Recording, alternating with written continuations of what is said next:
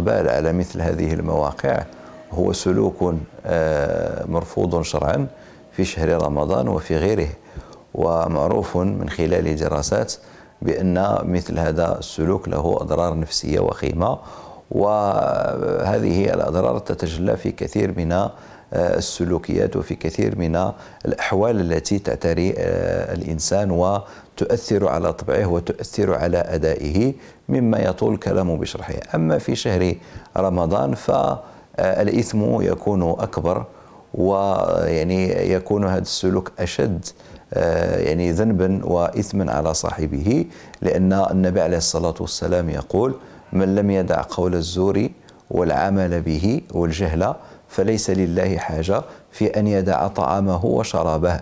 خرجه آه، الشيخان.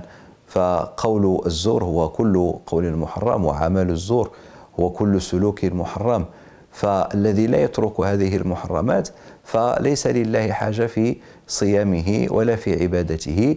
ولذلك قال النبي عليه الصلاة والسلام في حديث آخر رب صائم ليس له من صيامه إلا الجوع والعطش. ليس له من صيامه أجر ولا ثواب وإنما هو الجوع والعطش لماذا؟ لأنه يجمع بين آه، التلبس بالعبادة وكذلك التلبس بالسلوك غير المحمود شرعا